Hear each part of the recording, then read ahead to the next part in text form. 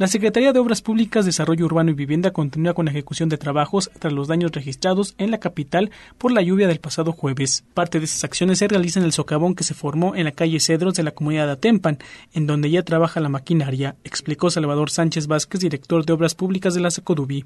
El agua que viene en la margen del río de los Negros se introdujo en la parte de la margen izquierda y la margen derecha del, río de los Negros. Exactamente, o sea, ¿por qué? Porque es pura arena la que tenemos acá, es el problema.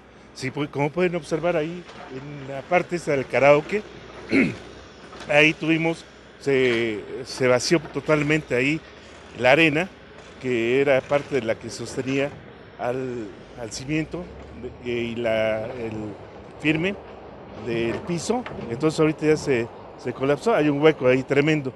De este lado de la margen derecha, margen izquierda, perdón, también ingresó el agua y empezó a socavar esta parte. Los trabajos consideran el relleno de huecos ocasionados por el agua, la limpieza por debajo del puente y liberar la vialidad del lugar colocando concreto hidráulico.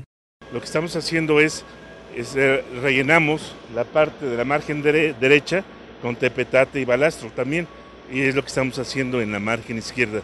¿sí? Y también debemos de proteger lo que es la plantilla del del puente, estamos en trabajos preliminares de terrastrías como lo estás observando.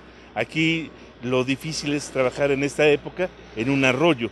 O sea que, por ejemplo, ayer ya colocamos balastro en la parte inferior del, puente y vino el agua y pues, no no. Entonces es impredecible decirte para cuándo lo tengo terminado. Pero ahorita lo que vamos a terminar en el viernes va a ser esto, lo que es la vialidad para que haya el suficiente tránsito. Y ya vamos a estar trabajando en la parte inferior. Llamó a la población a tener paciencia ante estos trabajos y colaborar para su prevención, no tirando basura. El problema que tenemos, y no nada más aquí en la ciudad de Tlaxcala, sino en todo el estado, es de que la mayoría de los vecinos tiramos basura.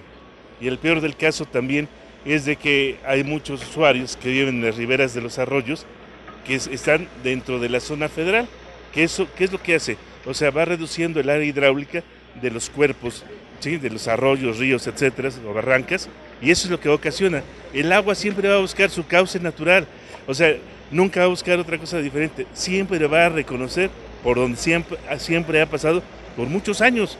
Este puente, por ejemplo, tiene 40 años, me dicen que lo construyeron, ¿no? Y es de, de una manera, de alguna manera artesanal, que eso también provoca.